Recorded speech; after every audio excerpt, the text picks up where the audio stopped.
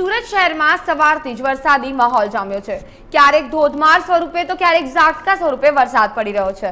વરસાદના કારણે શહેરમાં ઠંડક પ્રસરી છે અને તાપમાનમાં પણ નોંધપાત્ર ઘટાડો નોંધાયો છે. શહેરમાં વરસાદના આગમન સાથે જ નીચાણવાળા વિસ્તારોમાં પાણી ભરાવાની સમસ્યા સામે આવી છે. ખાસ કરીને શહેરના રામપુરા પેટ્રોલ પંપ પાસે લિનિયર પાર્ક કેનાલ પાસે લિંબાયત ગરનાળા પર તેમજ રિંગ રોડ ઉપર કેટલાક સ્થળોએ પાણી ભરાયા. જો કે સ્થાનિક લોકોએ પાણીના નિકાલ માટેની વ્યવસ્થા કરતા લોકોને ભારે રાહત મળી. સુરત શહેરના મહત્તમ તાપમાનમાં પણ ઘટાડો નોંધાયો અને શહેરનું મહત્તમ તાપમાન તેત્રીસ ડિગ્રીથી ઘટીને અઠ્યાવીસ ડિગ્રી જેટલું થઈ ગયું. તદુપરાંત સુરત શહેરના હવામાનમાં ભેજનું પ્રમાણ વધીને પંચાણું ટકા થયું છે. શહેરમાં સવારથી વરસાદી માહોલ જમવાના કારણે શહેરીજનોને કાળઝાળ ગરમીમાંથી મહદઅંશે છુટકારો મળ્યો છે.